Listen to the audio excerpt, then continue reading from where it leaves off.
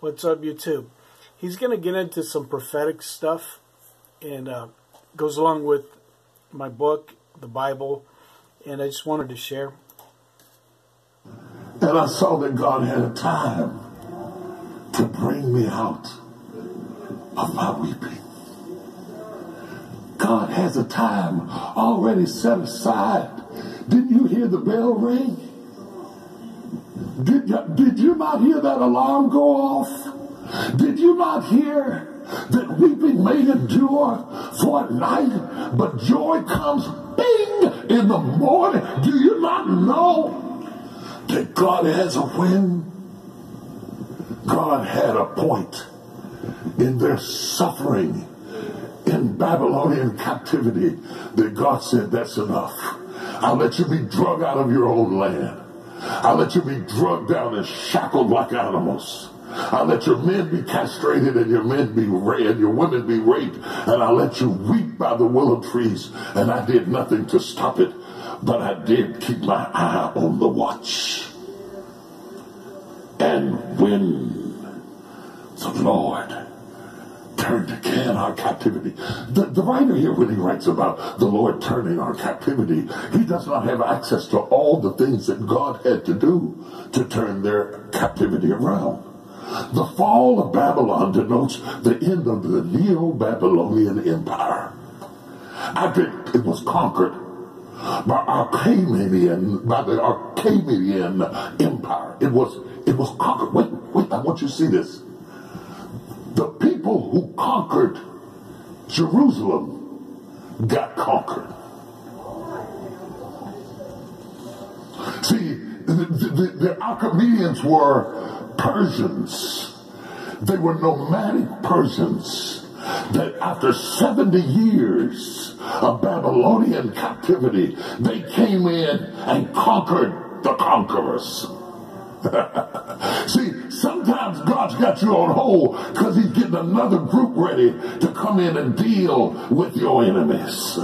God has a way of getting justice out of the chaos in your life. And the Babylonians were sitting around bragging and poking fun and telling them to sing and dance for us. And while they were playing with them, God was raising up the Persians to overthrow their empire in 539 BC. God said, enough. And all of a sudden everything began to change.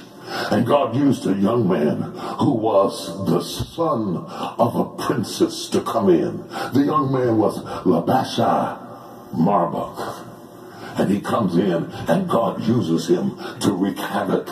And the Babylonians who thought they couldn't be brought down, got brought down. Listen, America.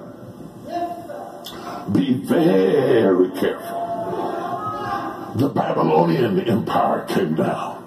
The Roman Empire came down the Kushite Empire came down. Don't you get high-minded and think that we cannot come down. We've got to be careful what we let go on and what we let happen in this country because it is possible. History teaches us that kingdoms fall. Nations fall. Empires crush. The Babylonians thought they couldn't be taken. They thought they were bad. But the Persians came up and they brought the whole empire down. Babylon, not Babylon, Babylon's name goes back to the Tower of Babel. But God still brought them down. Not Babylon. Babylon comes out of the Old Testament, Mesopotamia. The new word we would have would be right. Not them, but God brought them down. God can bring you can shut it down. That's why you got to live with a certain amount of humility. I don't care how many skyscrapers you build, how many jets you own, how strong your technology. God don't care nothing about none of that. When God gets ready to shut you down, He shut down the whole world with a virus we can't even see. And not one atomic bomb did anybody any good. Not one supersonic jet did anybody any good. Not IBM, not Xerox, not Google. Not nobody could do anything about it. God used something we've never even thought of. A bug from a bird shut down the planet. You don't know what God's going to fight with. But I declare God's going to get you out of this. Oh, you didn't hear what I said. I feel like dancing right where I stand. You don't know who God's going to use, but God's going to get you out of this. He doesn't have to use the deacons and the church mothers and the intercessors and the deacons and the bishops and the prayer warrior. When God gets ready to use you, he can bring an idolatrous. He can bring a whoremonger. God has a way of using stuff that you never even thought about. He'll use a jawbone of an ass. He'll lose two fish and five loaves. When God says it, enough, use whatever he wants to use. He'll use anybody he wants to use.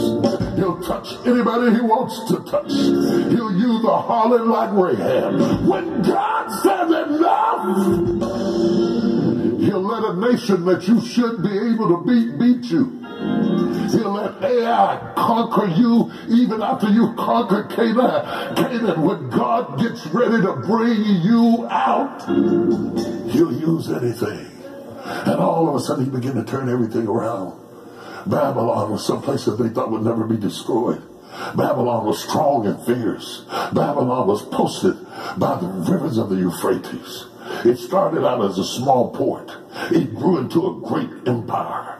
They were ruling and conquering and taking over, but they messed around and they took God's children down into bondage. And when God got sick of it, he brought it to an end and he stopped it. And Babylon is reaping what they sowed.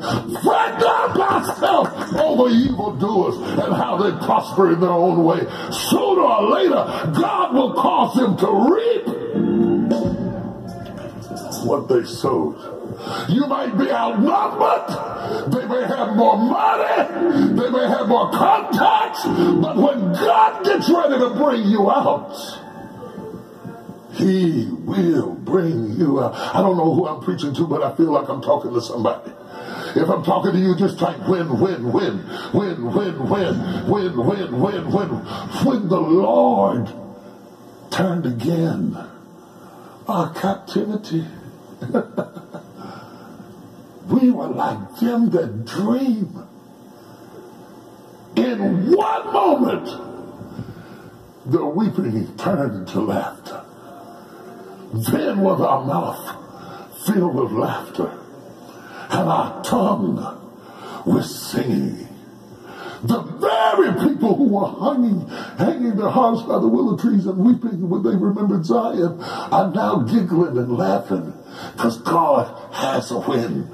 I am telling all of you that are suffering, and all of you that are in agony, and all of you that are secretly suicidal, and all of you that are depressed, don't get too used to being depressed. Don't get too used to being down, because God owns a win. And when God says win, He will bring it to an end, and the same lips that quivered with tears, and the same face that cried itself to sleep, and the same person who rolled over and over in agony and couldn't rest at night, God will make you burst out and start laughing. When the Lord turned again our captivity, it was like a dream. These people hadn't been free in so long that free didn't seem normal. Have you ever been denied something so long that you got used to not having it? Have you ever been alone so long that you stopped being lonely? Have you ever been in a crisis so long that it became your norm? When the Lord turned again our captivity, it was like a dream. And the Holy Spirit told me to tell you, you're going to dream again. When I get through bringing you out, you're going to be scared to believe it. It's going to seem like it's somebody else. When I open up a door for you, it's going to blow your mind. When I set you free, you're going to say, is that me? I don't know what to think about it. Is this my house? Could this be my job? Could this be my husband?